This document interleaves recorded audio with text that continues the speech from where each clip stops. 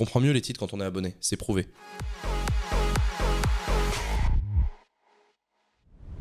On sait tous par avance que c'est la dernière campagne de Jean-Luc Mélenchon. Jean-Luc Mélenchon n'a pas l'intention de rempiler pour une troisième présidentielle en 2027. Il a parfaitement conscience que ce qu'il a construit, la France Insoumise, est en train de jouer euh, un jeu important à l'occasion de cette campagne présidentielle de 2022, puisque dans l'hypothèse où Jean-Luc Mélenchon ne devient pas président de la République, la question est de savoir comment va se recomposer la gauche dans la foulée de l'élection présidentielle et quelle va être la place de la France insoumise dans cette recomposition de la gauche. Ça va pas être simple. Mélenchon, on ne retiendra avec ses hologrammes et sa phrase La République c'est moi. C'est euh, dur quand même de ne garder que ça en mémoire de l'incroyable parcours politique de Jean-Luc Mélenchon ces 15 dernières années. Et je pèse mes mots hein, parce que Jean-Luc Mélenchon c'est quand même un, un tenant de l'aile gauche du, PS, qui claque la porte en 2008, qui crée le parti de gauche et qui commence à traverser le désert euh, de manière vénère, qui finit par réussir à obtenir l'investiture du Parti communiste euh, en 2012, qui fait un score négligeable. Euh, le Parti socialiste, lui, parvient à faire élire son candidat François Hollande. Jean-Luc Mélenchon parvient à surfer sur l'immense déception générée par François Hollande auprès des électeurs de gauche au cours de son quinquennat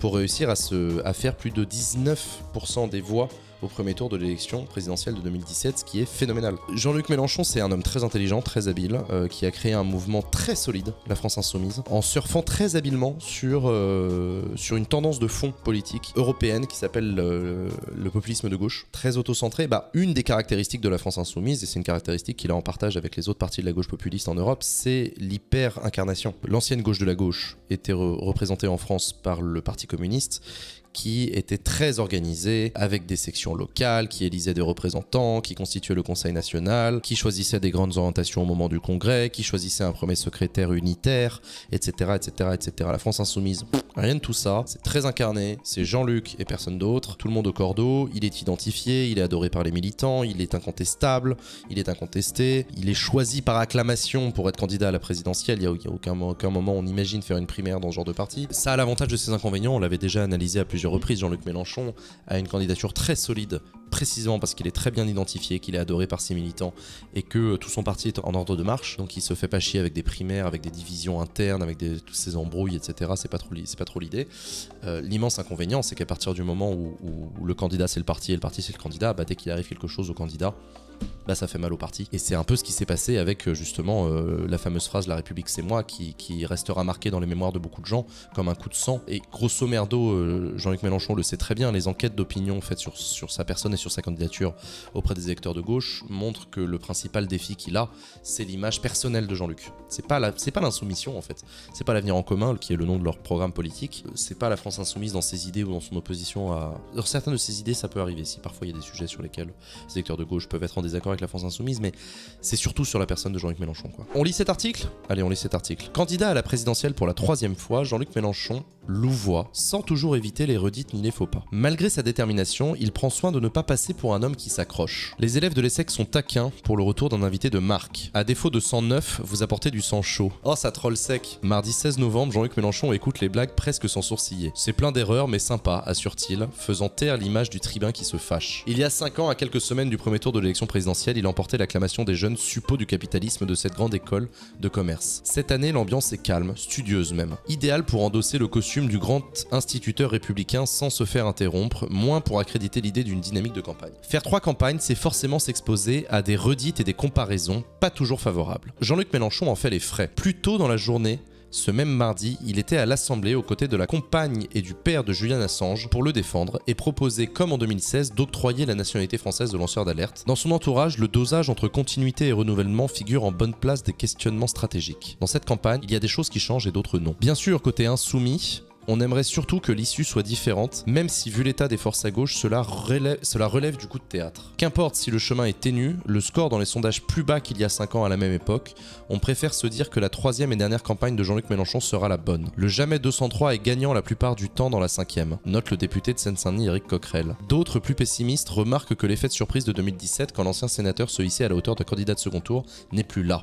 En creux, il y a l'angoisse de quelque chose ne se passe pas. Pour moi, c'était en grande partie dû à un moment politique euh, encouragée par la déception de, François Hollande, le fait que François Hollande ne se présente pas à sa propre succession, la candidature d'Emmanuel Macron, la volonté justement de réaffirmer un clivage gauche-droite pour les électeurs de gauche, etc. Mais ça, cet élément-là, on l'a plus en 2022. Donc, euh, pour combattre cette éventualité, les Insoumis déploient une campagne diversifiée, précise. Des interviews programmatiques, des expressions médiatiques, des déplacements dans les facs qui sont comme une série de grands taureaux. Énumère Clémence Guettet, responsable du programme. Une campagne au cordeau qui ne souffle qu'une exception, les dérapages du candidat. Le dernier, sur BFM TV le 28 octobre, a vu le candidat interrogé sur l'antisémitisme supposé d'Éric Zemmour trébucher, en estimant que M. Zemmour ne doit pas être antisémite parce qu'il reproduit de nombreux scénarios culturels liés au judaïsme. Il a rapidement esquissé des excuses sur Facebook, s'est dit prêt à admettre qu'il s'est mal exprimé puisqu'il a donné prise à des interprétations qui sont au contraire de ce qu'il pense, sans pour autant lâcher l'affaire. Jeudi, sur son compte Twitter, il estimait que le polémiste avait été acclamé lors d'une réunion du Conseil représentatif des institutions juives de France. Ça, la sortie de route euh, antisémite de, de Mélenchon, je suis sûr que son équipe s'en serait bien passée. Depuis, comme après chaque mauvaise passe, les Insoumis organisent une contre-attaque qui vise à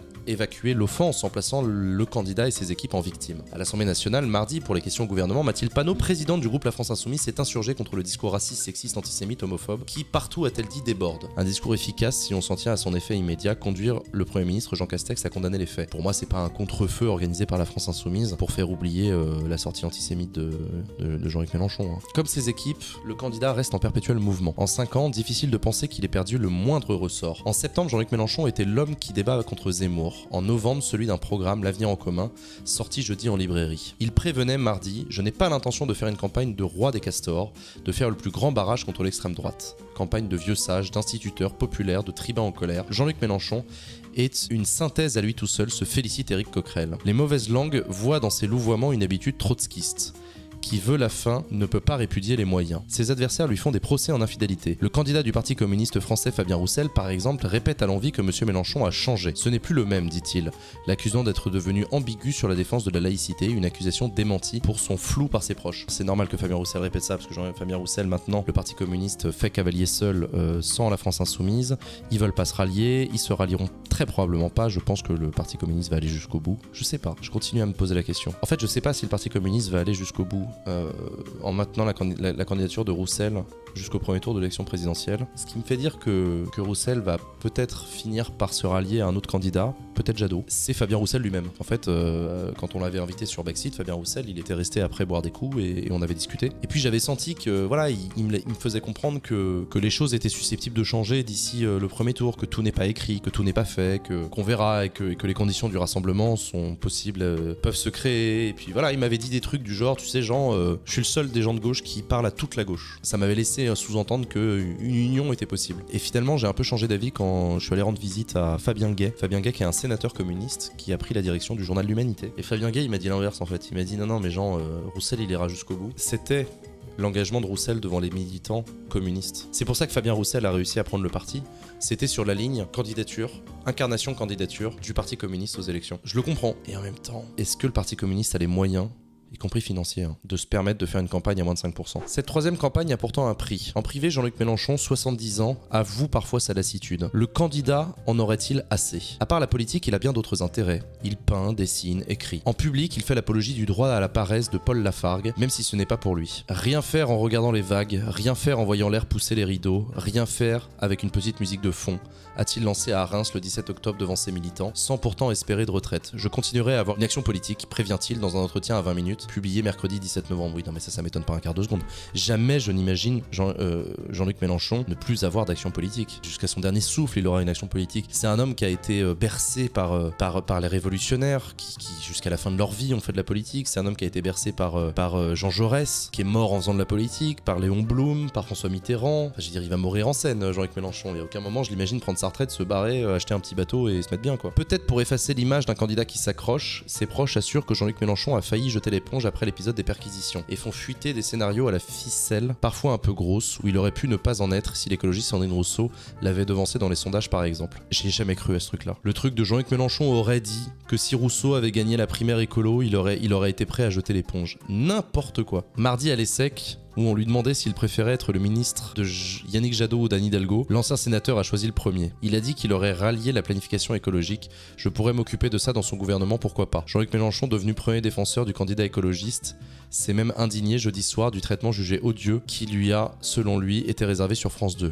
Comme en 2017, avec Benoît Hamon, Monsieur Mélenchon esquisserait-il un pacte de non-agression à gauche pour mieux l'emporter? Mardi soir, devant des étudiants qui quittaient la salle avant la fin, le grand instituteur s'est arrêté. Je vais pas vous saouler, je vois que tout le monde s'en va, il est temps que j'arrête. Comment éviter le scénario d'un monsieur trop vieux qui passe pour un mec qui s'accroche, qui arrive pas à passer à autre chose Comment la France Insoumise va se réorganiser? Et je pense que la question de la réorganisation de la France Insoumise dépend énormément. En fait, dépend assez peu de la France Insoumise elle-même. Paradoxalement, je pense que ça dépend énormément du score de Jadot, du score d'Hidalgo, de la réorganisation de la gauche dans les années 2020. La France Insoumise va disparaître. Non, je pense pas. Non, non, non, non. C'est un mouvement qui aura tellement marqué l'histoire de la gauche des années 2010 que que- qu'il peut pas disparaître comme ça en claquant des doigts. hein. Non, mais attends, il y, a- il il ce qu'il faut à la France Insoumise, hein, je vous rassure. Il y a ce qu'il faut la France Insoumise. Il y a Corbière, Coquerel, surtout Mathilde Panot, Clémence Guettet, Quatennens. Est-ce que tu penses que Mélenchon va choisir son successeur Oui, il le fera adouber.